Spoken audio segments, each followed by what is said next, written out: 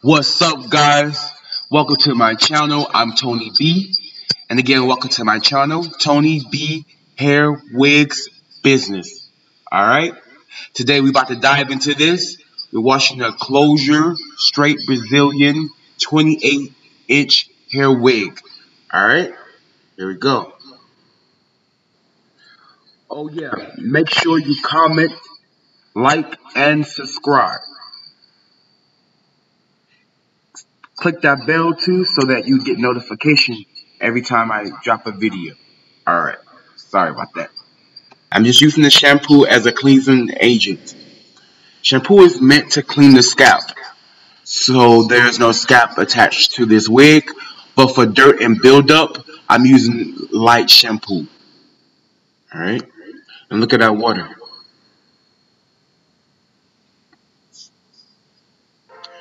Alright, now this wig here is a 28 inch wig here. Um, I made it nine months ago, so this wig is like nine and a half months old. Okay, so, um, yeah, bear with me. Now, when you put the wig in the water, you just want to mat it. You don't want to rub it. You don't want to do all that. You know, you want to be careful because it is a wig and you don't want to ruin it. Um, so be as light as possible while getting the dirt and buildup out. And remember, use lukewarm, lukewarm warm temperature water. I'm sorry, lukewarm water or room temperature warm water. Sorry about that. Um, try to use that temperature of water. Don't use hot or cold when washing when when rinsing out shampoo and that sort of thing, or or or setting out water for um, the hair to go in. Make sure that's lukewarm or um, room temperature, not hot or cold. So a combination of in between. That makes sense.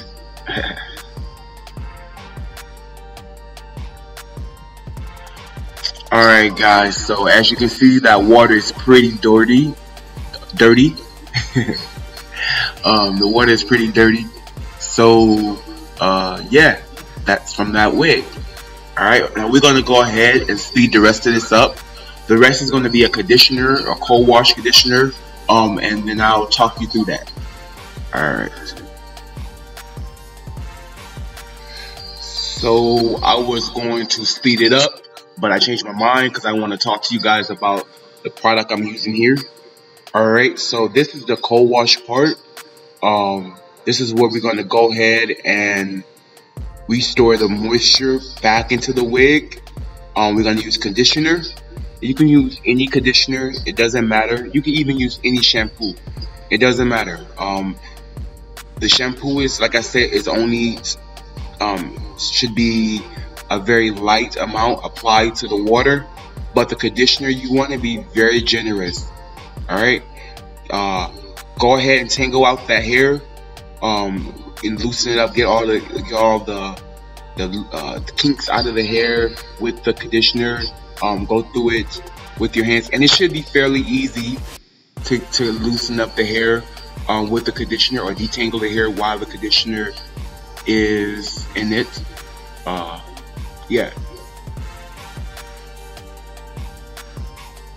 So make sure you apply a generous amount of conditioner on both ends. Alright? Like I said, it doesn't matter what conditioner you wear.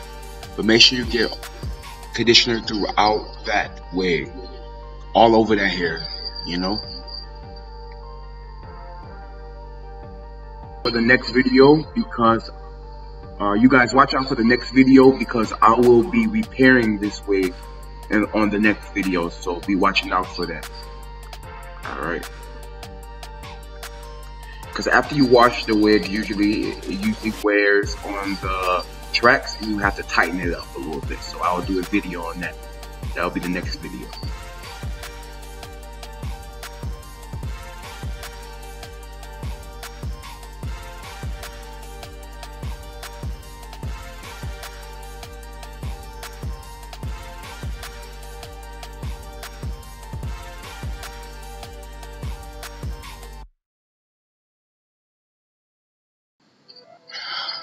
Okay, guys. So unlike when we was washing the wig was with shampoo, we was using lukewarm or room temperature water. When we're washing the conditioner out, we're gonna use all cold water. We want to get all of that conditioner out of there because any left uh, left conditioner could um, could risk the wig being too um, heavy, um, too greasy, um, um, and it will uh, it will be hard to give the hair body with a lot of oils and conditioner in it. So make sure you get all that conditioner out. You see all that that studs, all the stubs, those that's all conditioner. That is all conditioner. That's no soap. Alright, so you want to get all that conditioner out with cold water. Alright, that cold water lifts up that grease, that conditioner, um, and it gets rid of it. Alright. And um, at some point, if depending on how deep your shampoo bowl is, um, and how long your hair is, at some point you may have to drain and rinse because you want to get all that conditioner out of that hair. Alright, as you guys see, I'm, I'm doing here. Alright, sorry if you guys can't understand me totally.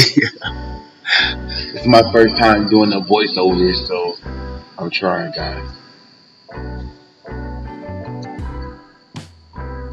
Alright, look how beautiful that hair is. Again, guys, this is a custom made wig. I'm Tony B. This is a custom, uh, I said that already. Uh, I am a custom wig maker. so, um, if you're interested in a wig or hair bundles, I'll leave that link down below. And also the products that I use to shampoo or the shampoo product that I use, I'll leave that down below as well.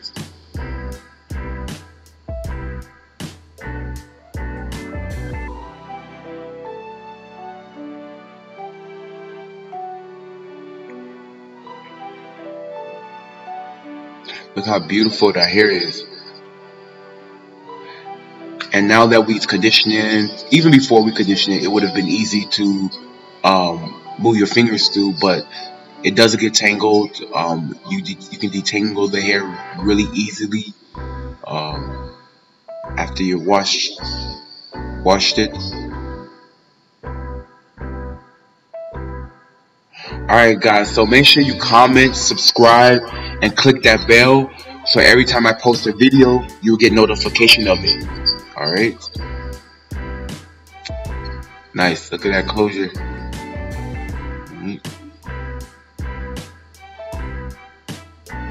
Alright, so you guys have a great day. I love you guys. God bless.